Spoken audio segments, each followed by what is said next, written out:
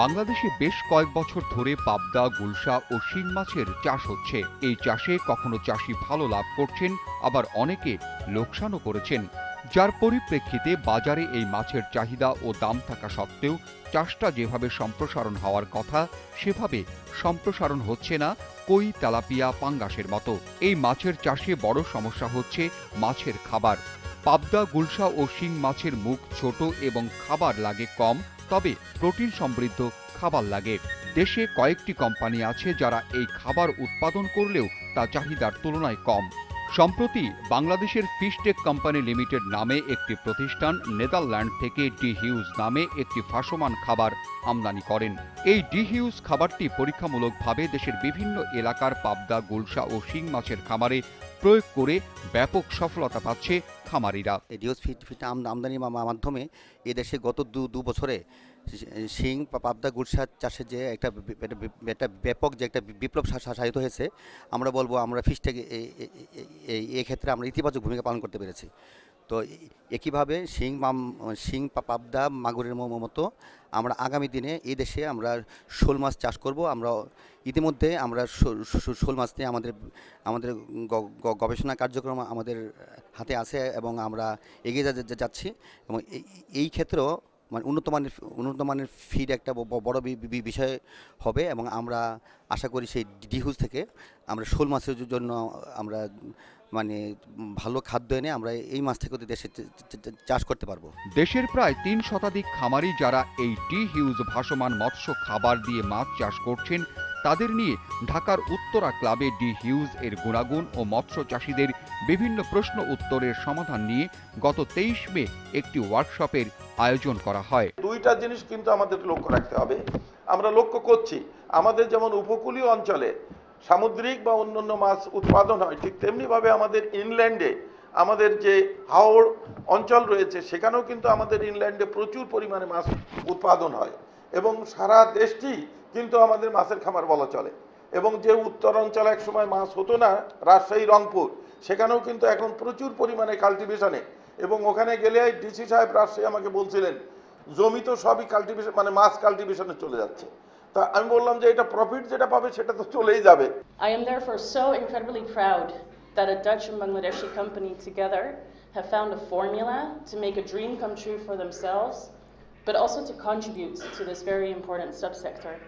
Um, a cooperation that all of you, the farmers of Bangladesh, are going to benefit from and are already benefiting from.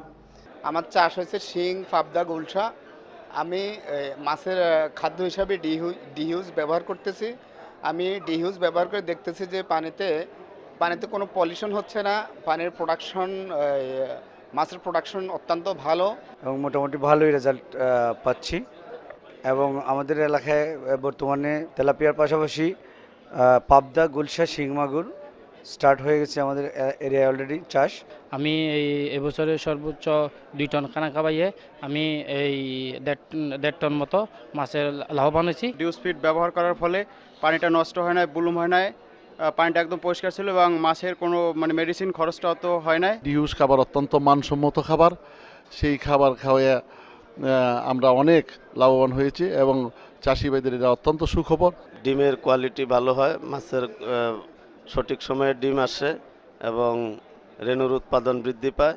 পাশাপাশি এখান থেকে যে পোনা উৎপাদন হয় এই পোনা মানসম্মত হয়। সর্বোপরি ডিহিউজ ফিড ফিশ ফিট বাংলাদেশের সেরা এবং খুবই ভালো মানের। Uh, we want to focus on supplying high quality feeds and we want to connect with producers of fingerlings, of processing companies. And, and the good thing in Bangladesh, we will do that together with Fishtech. They are already uh, they already have a very strong position in the production of fingerlings uh, because they have their own hatchery. They also already apply uh, the services to the customers, to the farmers, uh, technical services, supplying them with veterinary products, with medicines, with vaccinations. And that fits very well in our global strategy because in each country we always try to find local partners to do the business with together, because we believe that is more sustainable. এই ফিডের গুণগত মান খুবই ভালো। ফিডগুলি আমরা নিয়ে আনছি Vietnam থেকে dues কোম্পানির মাধ্যমে। বর্তমানে আমরা এই ফিডের ভালো রেজাল্ট পাওয়ার কারণে আমরা ভবিষ্যতে এই ফিড নিয়ে আরও বাংলাদেশে কাজ করতে চাই। আশা করি আমরা সফলভাবে ডিউজ কোম্পানির সাথে বাংলাদেশের মৎস্য সেক্টরে খামারদেরকে ভালো সেবা রাখতে পারব। মজার ব্যাপার হচ্ছে শিং মাছের পুকুরে এই খাবার দিলে পুকুরে কি পরিমাণ শিং মাছ আছে সেটা দেখা যায়, কারণ মাছ ভেসে এসে খাবার খায়। তেমনি পাবদা ও গুলশা মাছের খামারেও একই অবস্থা। পাবদা, গুলশা ভেসে এসে এই খাবার খায়, এতে পুকুরে কি পরিমাণ মাছ আছে সেটা খামারি বুঝতে পারেন। আবার এও বোঝা যায় যে মাছের জন্য দেওয়া খাবার বাড়াতে হবে না কমাতে হবে। যদি কিছু খাবার ভেসে থাকে, মাছ না খায়, তাহলে খাবার কমাতে হবে। এই খাবারের বিশেষ গুণ হচ্ছে খাবারে প্রোটিন বেশি, খাবার অপচয় হয় না, খামারের পানি নষ্ট করে অ্যামোনিয়া গ্যাস তৈরি করে না। খামারি পুকুর পাড়ে গিয়েই বুঝতে পারে তার খামারের অবস্থা।